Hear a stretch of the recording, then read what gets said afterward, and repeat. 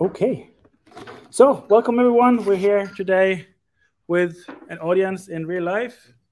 You might know about this uh, because you joined the meetup. We're trying to do a live stream. Let's see if it works. Uh, with that, I'll hand it over to the speaker who will present on Golang Go gRPC today.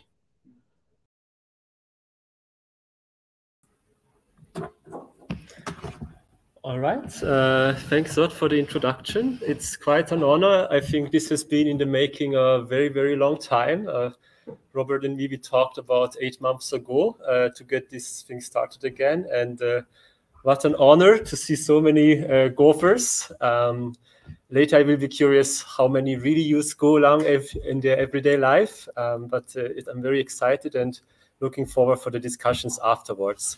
Uh, this talk is uh, more introductory, so a kind of um, introduction to Golang and gRPC. What kind of problem would gRPC solve that uh, maybe REST APIs don't solve? What kind of uh, advantages do we have? And um, I will show you some kind of example application where we make use of the features of uh, gRPC and that it gives us. And yeah, and then hopefully we can have some kind of conversation about it if it if this makes sense or not. Um, yeah, so just a few introductory notes. Um, gRPC. So what does RPC stand for? Everybody knows, I guess, uh, remote procedure calls, and gRPC is just a nested acronym. So the G in gRPC stands for gRPC, of course. Um, Modern Communication Foundation, 2015, and governed by the Cloud Native uh, Computing Foundation.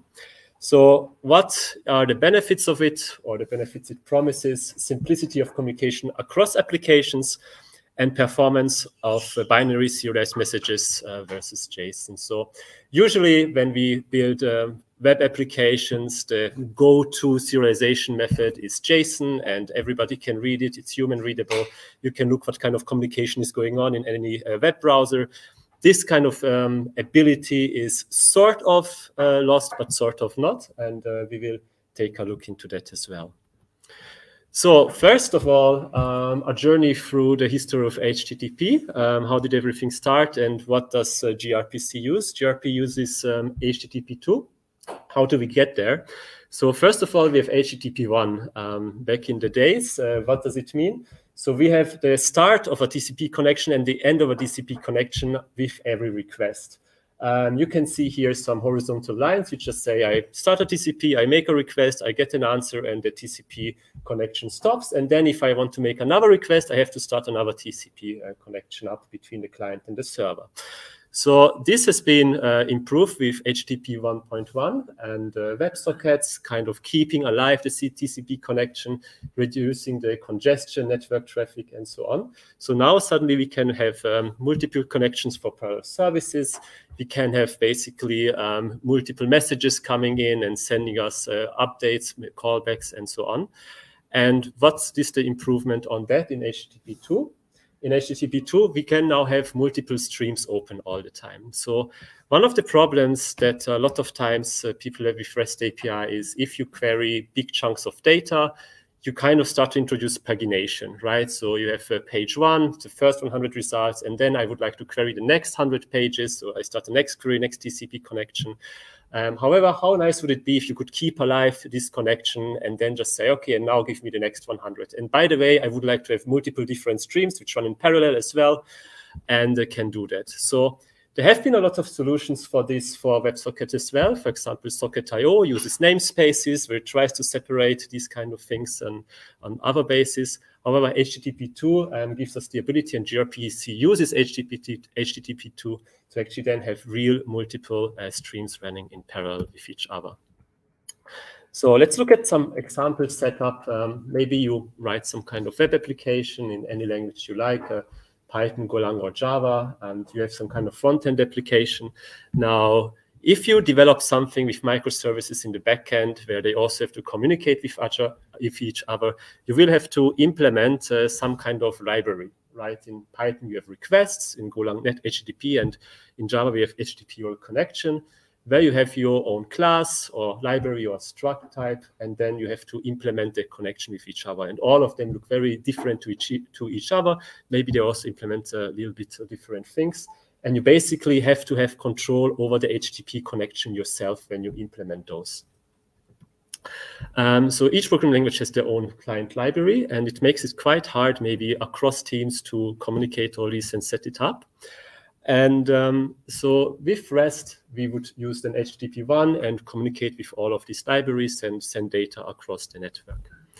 Um, so what is it with REST? So we use TCP connection per request. Um, many functionalities do not uh, fit the RESTful paradigm. So if you only talk about resources sharing, you know, um, typical examples are you have a database, you have uh, many persons in the database, and then person slash ID, you get a certain person. Uh, maybe ID slash something else, you get a certain property of the person. So it, it works maybe nice for resources. However, if you want to do something that changes the state of your server or send some kind of restart request and so on, now you get into the discussion with the rest of the team, maybe rest of the company, how should the endpoint actually look like? You know, like we have now some action that follows something, maybe it's very specific to the use case. Um, and then you are stuck with it for, for some time. So it doesn't really fit the, the RESTful use case. On the other hand, as well, here you don't have a bidirectional streaming. So you're restricted to your TCP connections and you cannot combine many resources. And um, it's quite an unpopular work uh, to write client libraries. So whatever you connect to, it has some kind of API definition already. Um, this is something that can be argued because with Swagger and um, OpenAPI, you can generate a lot of these client libraries already. However, there is still some functionality missing in, in REST APIs. So how could we improve with this and what would we like to maybe trade or lose to gain something else? Um, what is good with REST API is that everything is very readable. You can use Postman. Everybody understands what kind of packages you send and get back. Um, pretty easy to, to understand that. Um, however, maybe it's fine to trade these things to get some performance out. Maybe if we have uh, backend services, it's not necessary to have it in a human readable style. Anyways, it's machines communicating with each other. A human will never see these packages. And if we have to debug it, we will have tools to see the data anyways or some logging. So maybe it's fine to actually trade it, um, the human readability against performance. What can we do? Um, so the suggestion of gRPC is to have some kind of um, gRPC layer built in, uh, something that we can generate. And the gray layer there would be something like protobuf maybe. And if we can somehow define our API and we can generate all these libraries that take care for us about the HTTP connection and the communication for all of this, it would simplify the work for, for all of us afterwards. So what does this do? Um, we can actually, uh, if we use gRPC, take um, we can take HTTP2 into account and also benefit from the um, advancements of HTTP2. So we can actually have streams available and open um, to request more data from the server if, if uh, necessary to have basically asynchronous communication with the server all the time if uh, necessary. And um, the interface is generated via protobuf. So I have one definition, and um, all that the clients have to do, all the development team have to do is just to regenerate the API based on these proto files and uh, get it running.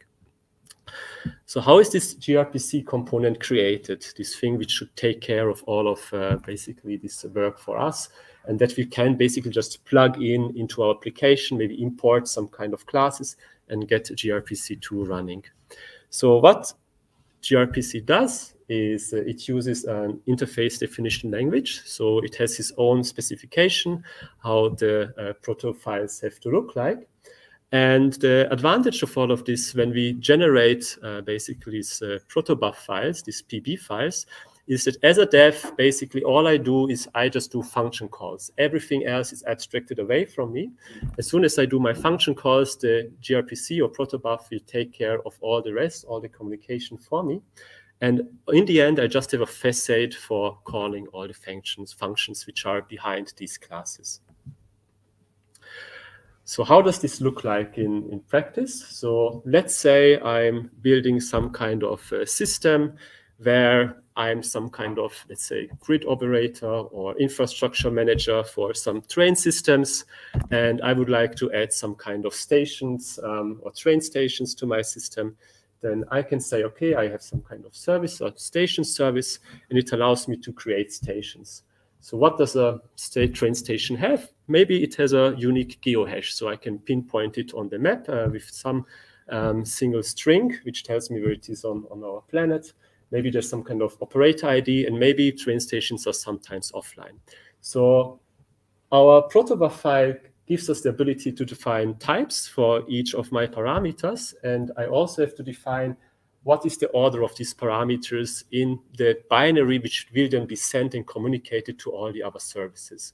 So this is one thing which makes it quite strict and uh, will make it also quite hard if you don't watch out to actually um, extend uh, your models later. So there's uh, dif different ways to make sure that it's extendable and so on. Um, and there's also a problem with uh, coupling sometimes because what we actually want to do is if we build applications that there should be weak coupling between them there should not be a strong dependency however once we define this kind of interfaces and we don't give it the flexibility necessary we actually also introduce strong coupling so this might be a drawback if it's not designed well from the start however in these protobuf files i define the types Then I then generate my types for my specific languages, all these types get translated into the language specific typing, and uh, we can reuse it uh, in those. So in here, we have this uh, create station service, and we define some types, for example, a create station request. What kind of data does it need? Um, so if I create a station, it says I need a station type, and the station type is defined as something for geohash or operator ID and online, and what I should get back is I only would like to get something, a Boolean, which says okay or not, or true or not, and maybe a string as well, um, which tells me what kind of error I had. So I cannot count the times with REST API when, when I had different REST APIs that give me back some kind of Boolean or expect a Boolean to be entered and you have to always parse a string true or do something else. Um, now actually you even get a real Booleans back. So alone, this alone is already amazing. Um, improves a lot of our lives, I think. So what does this protobuf uh, do? Um, when we actually want to generate now the classes that we use, uh, we use something protoc, so a protobuf compiler. And uh, the protobuf compiler can give us output in a lot of different languages. So one of the languages, for example, is Python. So it would be just as simple as uh, getting uh, gRPC-IO tools, um, where then Python will use the protobuf file and generate Python classes out of the proto definition. In Golang, basically, we use the parameters go out and go gRPC out. So why do we use two? Because we have two different types of things in our proto file. Once we have the type definitions, which are our messages. So what is a create station request? What is a create station response? On the other hand, we also have basically a definition, how should my service look like? So what kind of methods or functions can I call when I implement my service? What can I use as a server? What can I use as a client? So that's why I have basically these two parameters, go out and go gRPC out. So as go out, we can see we see basically a station operation result, create station request, and so on, um, where we have some links or references to all the classes that we are using. And for the gRPC, here we have a station service client and we have a station service server. So basically, the gRPC already defines or gives us the classes um, or the types to use when we want to implement a server or a client. And we already get basically a layout for what kind of methods, what kind of functions we have to implement with that. And um, basically, after that, we are ready to go. We have a template, and we just have to implement it. Um, what else does it provide? So in general, there's a wide range of uh, languages it already provides. And uh, lately, there's been a lot of advancements in uh, gRPC web as well. So there are some improvements there to also use it for web applications, even though um, it's currently it's mostly used for backend services. So this is just a small table to compare. Um, there is a nice site, documentation site by Google, what kind of um, translations for classes you have. Okay, so now we basically quite quickly got to the point that uh, we generate from a proto file different classes, different types, depending on the programming language that we are using. Um, but this, this is something that Swagger can do as well. I mean, there's nothing really special about this. So is this just another REST, or what, what actually is the improvement uh, on this? So the improvement comes with the different concepts that gRPC gives us and that we can reuse. So let's say that we have some kind of uh, microservices talking with, with each other. And in general, we have different types how services can talk to each other. Um, we can put all of them in general in four different types. So there is a unary RPC, um, where you would have basically just one single data being sent and one single data being uh, received. However, um, when streaming comes in, you basically have four different ones. So you can stream from the server. Um, you can continuously send data and the client can request data. You could have something where the client is streaming data all the time and the server basically just sends back an OK or sends back one data point, maybe just the average of all the data it had received at some point. And you have bidirectional streaming. So you can have um, communication in both ways, um, asynchronously, and send data back and forth. Maybe you build up a, a trading system where you just want to send in uh, loads of prices and you want to get back signals, you know, and you can do it now in an asynchronous way without having to open multiple connections and TCP connections all the time. So how does this look like if you try to put it on in some kind of table? So if you have a unary server and um, you have a client. So it would be either one-to-one -one communication, one message in, one data point in, data out, and uh, or the server is stringing data back, or in the bidirectional or multiple bidirectional streams, you can have multiple streams over one single TCP connection where you send data which might belong to different groups or different areas that you're interested in, but you still have the separation out of it. So in WebSockets, for example, if you don't use namespaces and so on, but you use just uh, WebSockets themselves, you get an on message, right? And on error if there's some error in general and everything breaks down. But then you get messages in of different types, and then you would have to split them up afterwards. So here you can have basically streams for every single type that you're interested in, and you don't have to pump them all basically through the stream. So gRPC basically HTTP2 takes care of that for you already. Um, yes, so what happens or what is the goal usually? The goal usually is that in the, on the server side, you do the heavy calculations, you implement gRPC methods, you run the calls, and on the client side, you just implement calling, it's uh, sending the data and getting the results back. Um, all of this, as uh, said before, is defined in these uh, protofiles. So how about an example about this? So what do you actually do when you now put everything together and you try to get something running? Um, there is something called Kreya, which is a nice um, equivalent of uh, Postman for gRPC, even though I think Postman now supports gRPC as well. Um, however, it, it gives you the possibility to generate example data from the start. So when you connect it to a protofile, it reads basically the layout of your data or the structure, and it can generate fake data for you. So it's very easy to just send data in into your system and, and test it.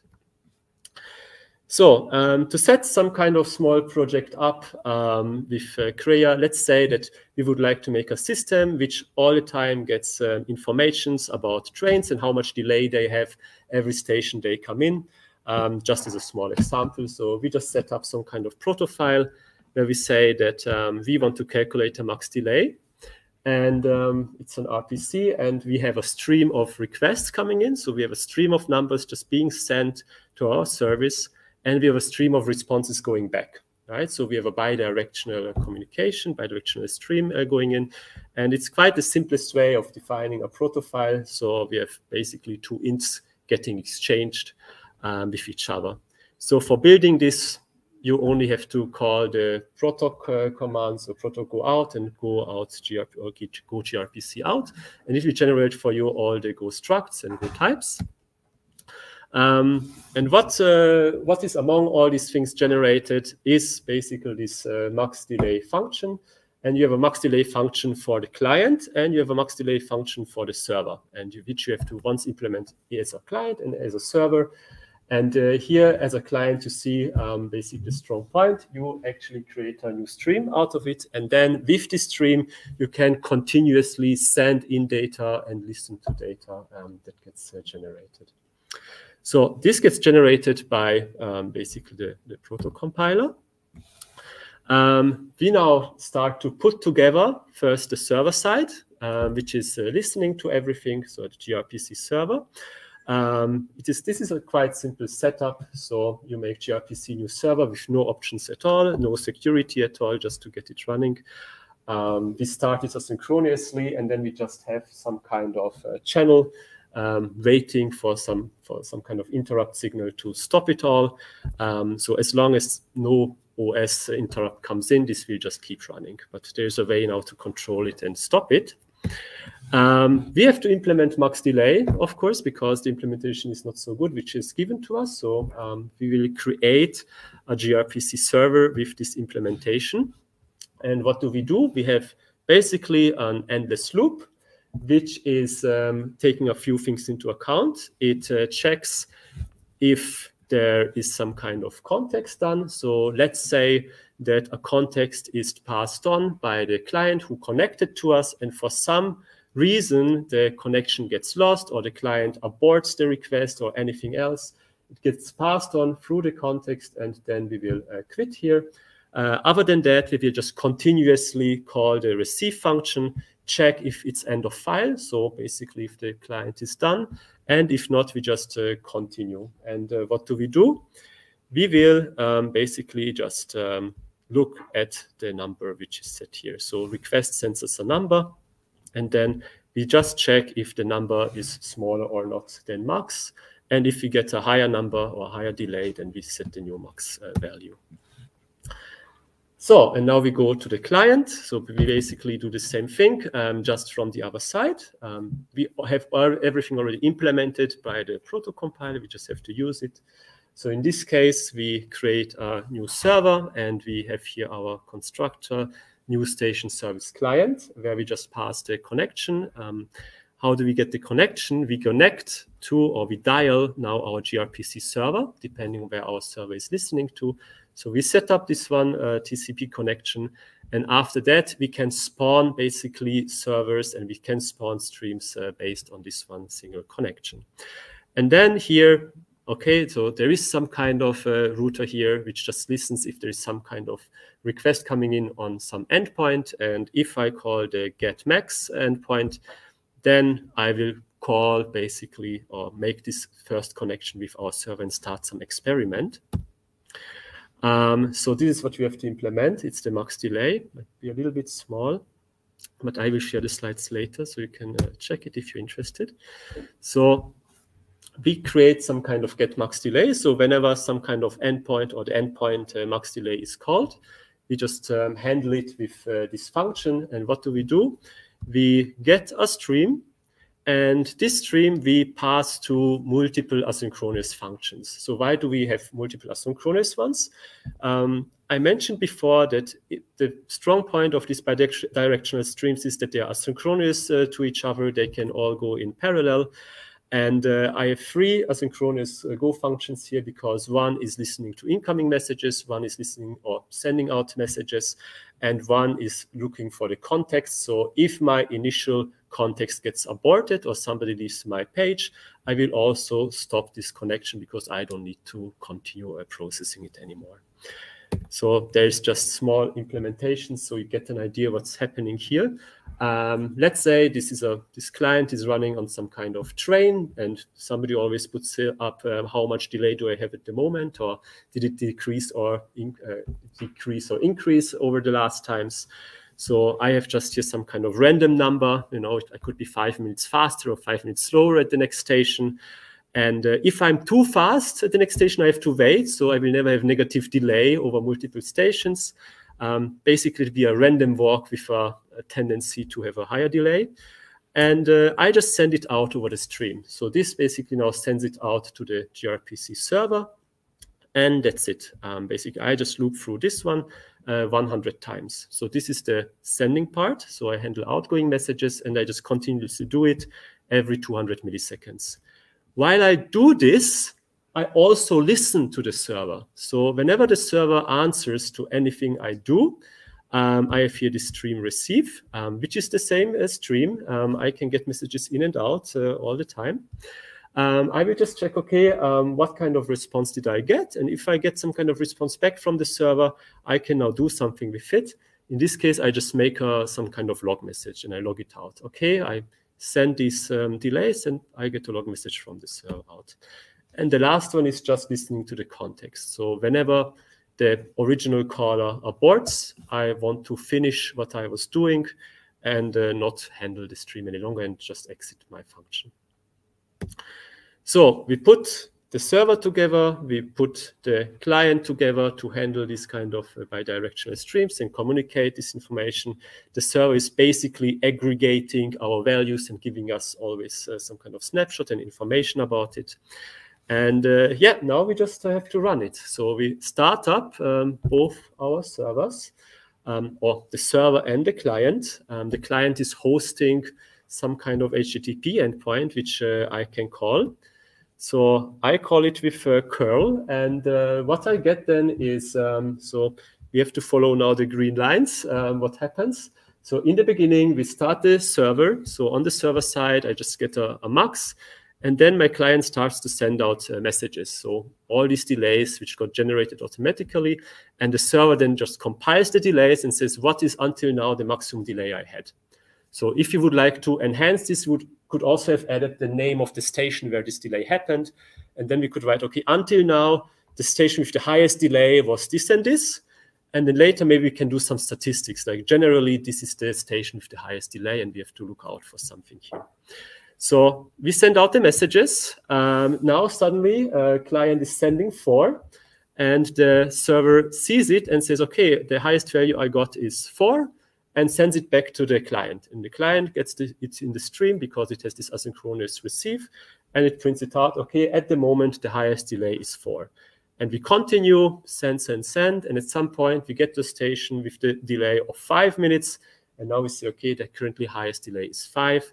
And at some point, we finished and we run through. Maybe the train arrived at the final destination and it all finished. So just with the curl command, we start all this.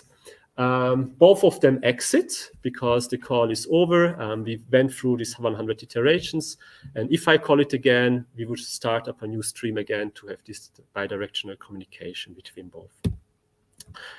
So how can we now test it manually? Uh, right? Because sometimes I would, just would like to check uh, what comes out. And Kreya is a really useful tool uh, to do this. So if you start up Kreya, um, you get a, some kind of interface which is quite similar to Postman um, that you might have known. And all you need to do is you need to just connect it to your proto file and it automatically identify all the services that you have since it's clearly defined in your proto file what the service is. And since it is a stream to stream, a bidirectional stream service, um, what you have to do is you say, okay, I will send my request manually, and this will start up a stream. So after you do this, you can send something multiple times, and you can basically simulate messages going through the stream again and again without closing the stream. And uh, you do this multiple times, and at some point, you change the value, and you see basically in a response the new value coming back. And you do this again, lower value, nothing, higher value, you get the higher value back. So basically you have connected yourself into the stream that the server provides you, and um, you can test it manually. And that's all about gRPC in a nutshell. I hope it was a good introduction, and yeah, thanks for listening.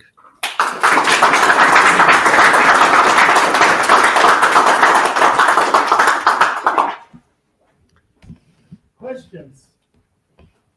Go ahead. Um, if you generate, so, you, if you generate the stuff, for example, for Python, um, it's probably not that Pythonic because um, the functions are uppercase and are there any tags so that you can, or, or you have camel case versus snake case and stuff? Is uh, there any chance that you find in, in your profile that it, it, it somehow um, pleases the developers on the other side.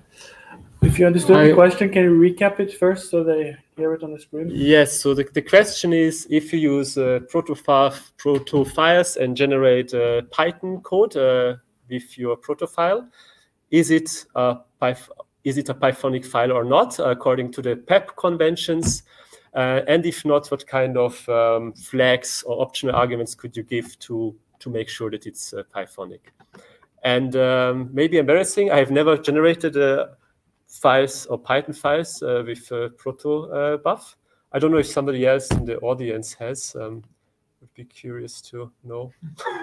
so, yes. Um, yes. yeah. But I would imagine, since it's a Python package, um, that it would generate Python files. I mean, there's so many changes that you have to do with. I mean, Python. Maybe you don't care about the type so much, um, but, no, but uh, still. If, it, if, it's uppercase, you would, you would think it's not a function, but, a class. Yes, but also Visual Studio Code has the automatic change. We should try. Yes. More questions? Okay. Good. Then another oh, one. Yeah. Uh, since gRPC mostly works on top of HTTP2, uh, are they planning to make use of features of uh, HTTP3 and also QUIC to maybe improve on some of its uh, performance shortcomings? I don't know how well you hear in the audience. Since gRPC is built on top of HTTP2, what's the plans for reliance on HTTP3? Sort of. Yeah. Yeah. I think HTTP3 has not full support until now, or is it already finished? Isn't it still in development? I think QUIC HTTP3. Yes. so I don't know, but I thought it's uh, still. I know that HTTP2 is now fully supported by most big browsers, but still not by all. So I would think that HTTP 3 is still a stretch, but I don't know about the plans. Yeah. Mm -hmm. Do you have any comments on timeouts? So if you mix unary and stream uh, requests, obviously you write the timeout, like when you define the timeout, you define it for the stream. How do you have any experience in what's a good somehow um, you know pattern? approach. compromise. The question was about timeout in general when it comes to gRPC. Yes, I think it depends on your application because you have to set the timeout in general anyways for the applications that you set. If not, you have default timeout. So also for the um, HTTP connections in any library, you have some kind of timeout set uh, where you can run into. So yeah, it really depends on your application. I don't, yeah, you have to measure how long you expect it to run and then set the timeouts. I don't think there's a golden rule for it except um, experience with your application. One last question, maybe? There, yeah. So in, um, in the REST calls we, we do, we maintain a connection pool on the transport layer, and we adjust the number of the um, number of the connections there according to our needs, right? How about in this HTTP2 gRPC, like, do we have a single uh, connection and we use it for everything, or we also maintain a connection to and um, share the cost across the Question was about differences between REST and gRPC and handling concurrent connections or having everything in one. Yeah. So let me go back maybe to the there was a slide about it. So this one. And uh, yes, so the, the point in HTTP2 is that you would like to reuse the same TCP connection so you don't have to do all the handshakes uh, all the time over again and, ever, and avoid network congestion. So you create basically a server and uh, a client, you have a TCP connection between them, and uh, so anytime you make a new request, for example, through the stream, and you receive or you send new data through it, it's not a new connection anymore because you have basically your stream which is kept alive and you don't have to reconnect um, for those requests. If this answers to your question. But you also keep alive the connections with HTTP 1.1 as well, right? Mm -hmm. So we, but we keep a um, bunch of connections alive and then we pick them from the pool and reuse them. So the connections are also kept alive for a long time. You don't open and close connections, right? So that would be very uh, expensive.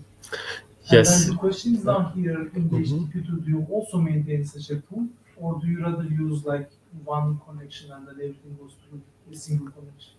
Yes, so the, the few advantages in HTTP2, so I think it's more about HTTP2 versus HTTP 1.1, is um, there's few improvements. For example, you don't send the header all the time. The header is, um, how do you say, um, compressed um, basically in, in binary format. Um, you can have multiple streams open now all the time with one uh, TCP connection. That's everything that HTTP 1.1 didn't have, and um, which basically is an improvement there. So yes, in WebSockets or HTTP 1.1, you can have multiple TCP connections to try to resolve this problem and use the pool. But in HTTP2, for this, you would have only really one connection and then just have multiple streams running in parallel in this one connection. Ben, if you have more questions on your mind, if there's time after the second talk to ask if Patrick is willing in the audience. And thanks again, Patrick. Thank you. Uh,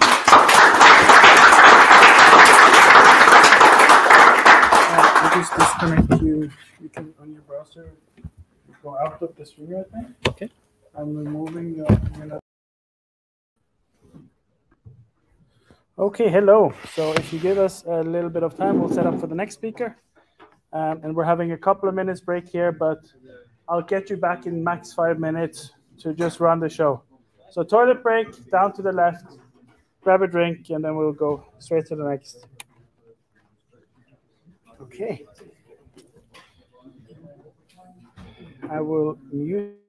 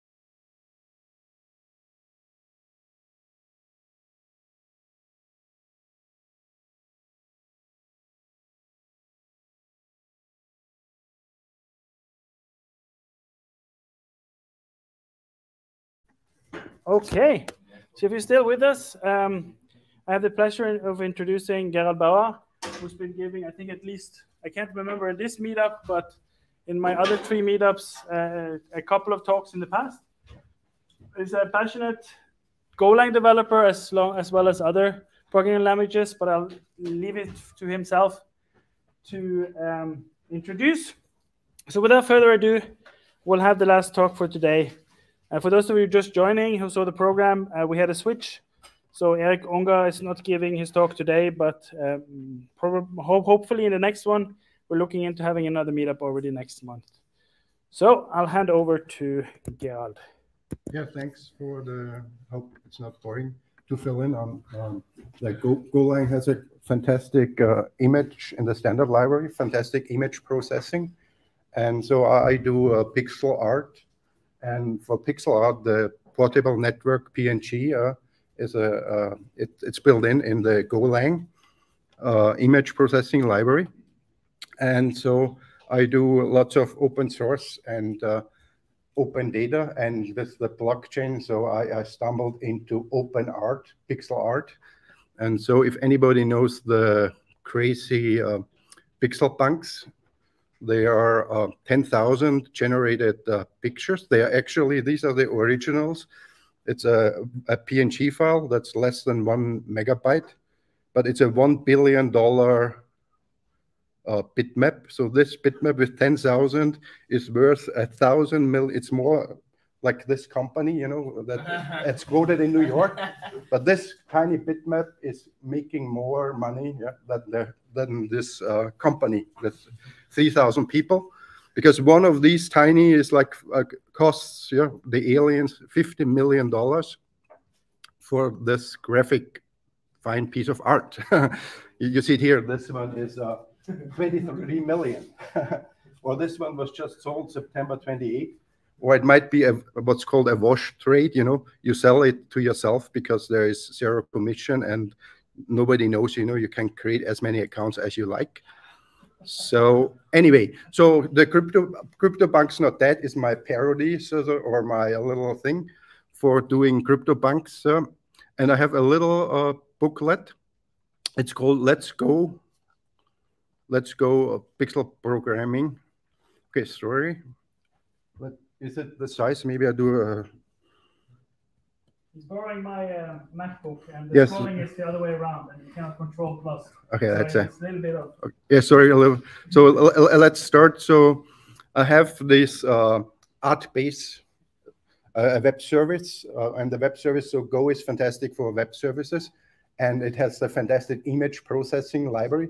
So that's, uh, and you get a single binary, which is the ArtBase server. And for this ArtBase server in Go, it's open source on Pixel Art Exchange on GitHub.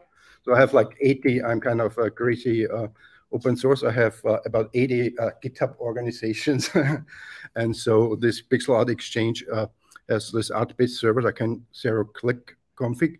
And it has uh, the package, the Go package for pixel art which is kind of a, a little wrapper around the Go image processing, especially for uh, PNG graphics. Because uh, if you use PNG graphics, they are fantastic for uh, for uh, pixel art because of uh, the the Go uh, image processing language supports every color models and all formats.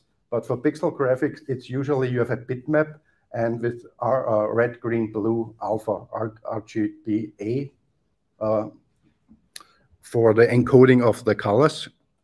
And so usually, you know, you, you don't want to deal with uh, always checking what color model and, and so forth. Anyway, let's start um, for the punks. If you have this uh, bitmap, and let's say they are numbered from zero to to uh, 10,000 to 9,900, and you want to uh, get, you know, you you bought one of these for millions of dollars, now you want to get you know you want to get your art. So you have to how do you cut it out from this uh, image? So this library this library uh, i call it i call the whole collection a composite image. So if i have this composite image uh, i just have to supply uh, how how big are the tiles? I call it, you know, if any does game programming, you have a sprite sheet and or a texture bitmap and the tiles. So because if you request, there was the uh, the the, uh, the question about connection pooling, and if you do a web request, you know, you put all images in one image, and then then you have only one image request. And but then you have to cut out, you know, the image from that big image from the composite. And so in this case, it's very easy because all the images have the same size, so they are 25 pixel by 25 pixel.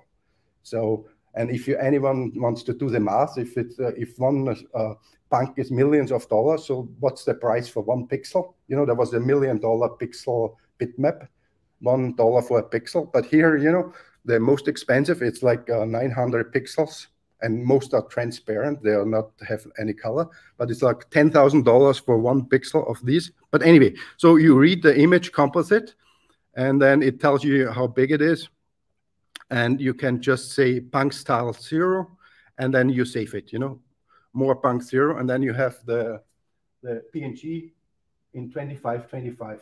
But usually, as you see, these small, tiny uh, masterpieces of fine art, nouveau faux style or something they call it uh, for uh, like French uh, primitives or whatever. And but you want to make it bigger, so that's built in into the library you can say zoom. And if you do zoom, usually if you if you zoom into a photograph, it it uh, it doesn't do uh, uh, doesn't work for pixel art because if you zoom a, a pixel art, you want to have uh, it's called uh, near near border or closest color uh, scaling, which is not usually the default for image libraries.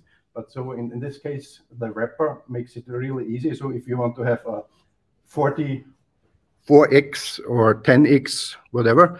So this is the 4x size. And then, of course, one pixel is multiplied by 4. And you can zoom, you know, 10 size, 10x or whatever. That's uh, how easy it is. And so, you know, you know the deal now with Go modules, you know, you just, if you compile this example, you do the Go mod modules in it, and then you get the the pixel art package, which is part of the ArtBase uh, uh, repository, and Go run main. And so this would be. Uh, and now you know the fun is you can make your own unique art.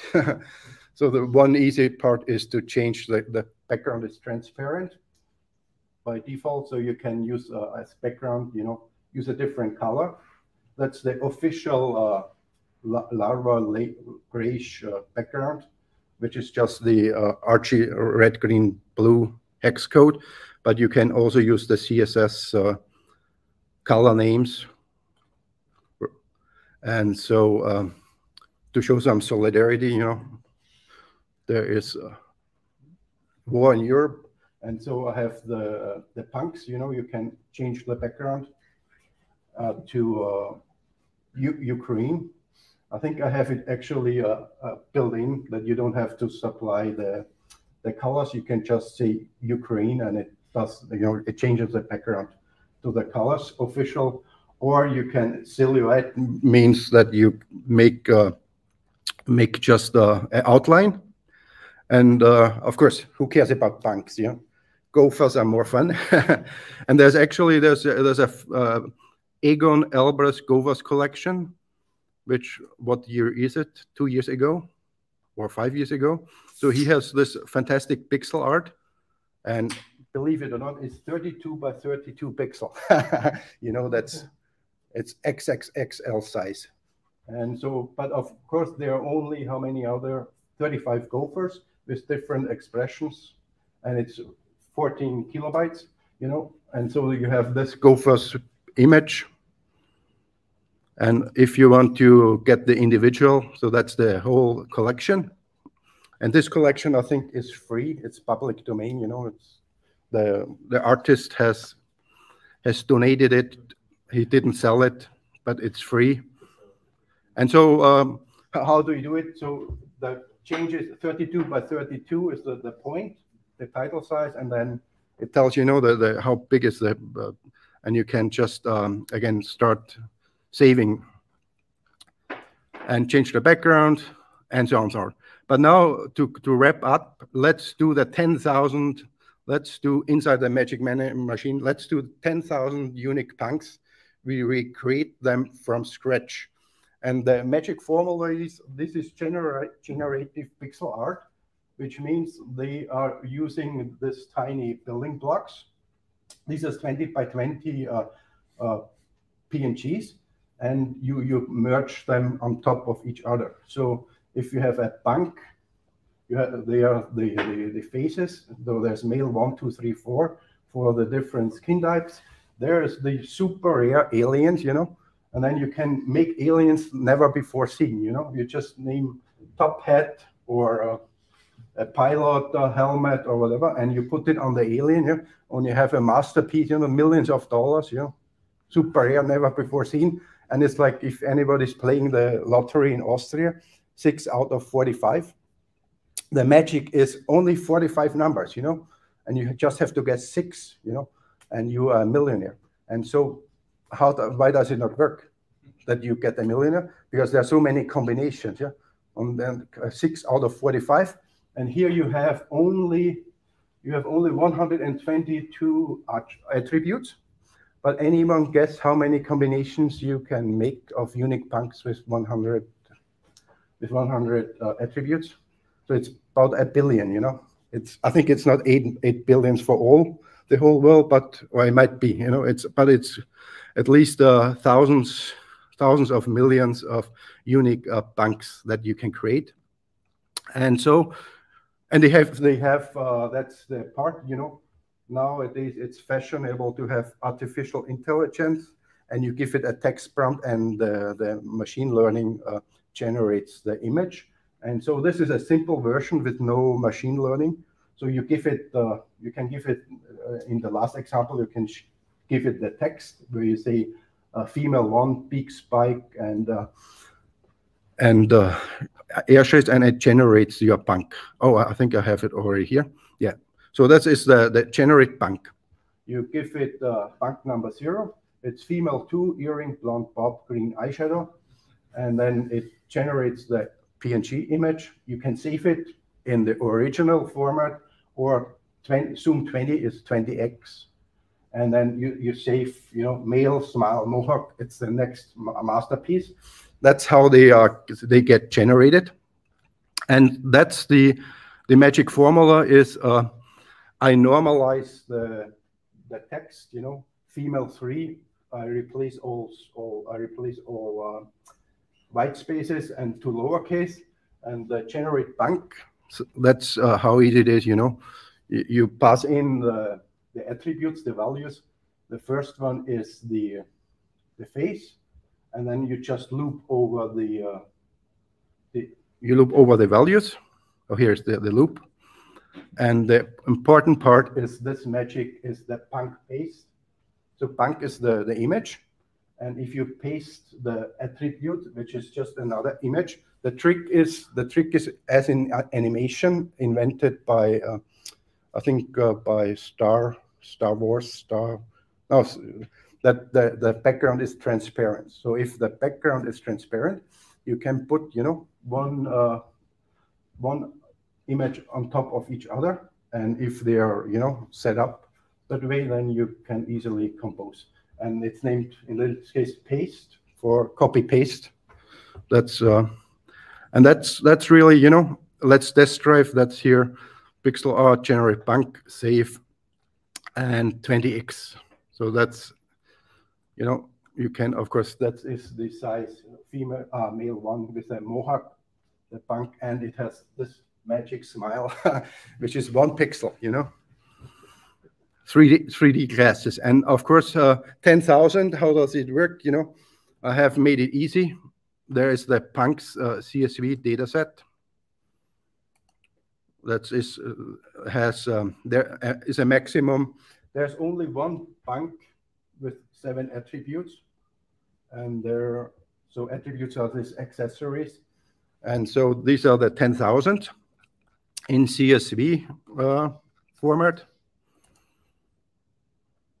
that's uh, you know in Excel or whatever, and you, you can okay because sorry yeah, it's kind of big. 10,000, it might be, you know, almost uh, 800, like a megabyte or something, you know, not so big, you know, 800K.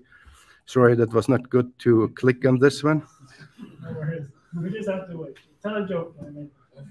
And so, but if you see, um, yeah, so the punk CSS EV, and all you have to do, I think, um, this, it's built in, the uh, read CSV, uh, the, the standard, the Go, Go standard library has the CSV uh, library built in.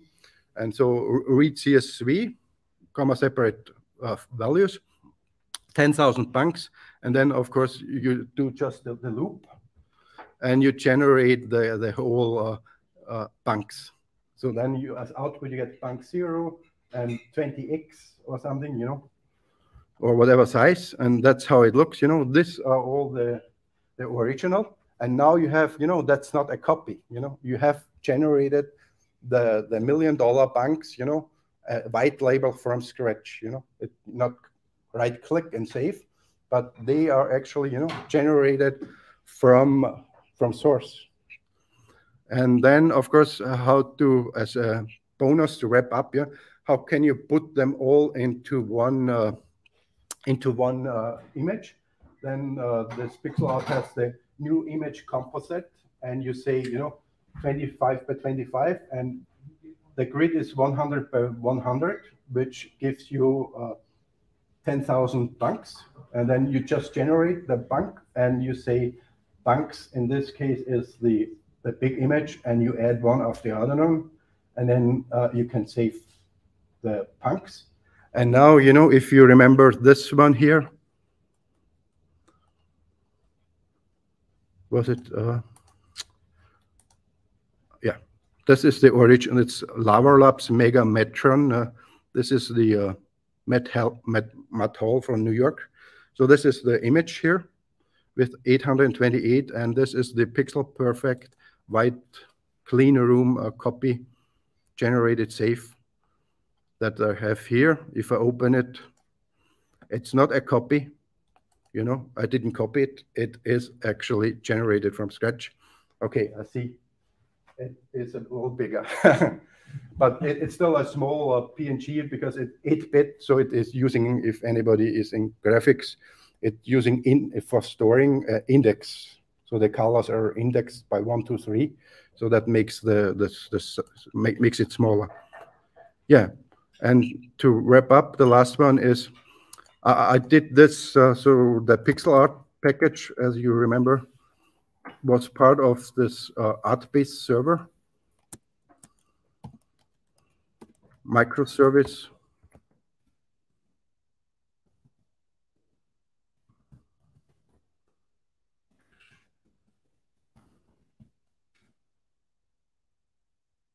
if anybody knows this art in the corner, this is Mona Lisa with a virtual reality, uh, with a virtual reality uh, metaverse glass were never before seen, unsold. And uh, yeah, here's the the Go ArtBase server, and it has this is the the pixel the source for the this is the source for the the you have seen the source for the pixel art package.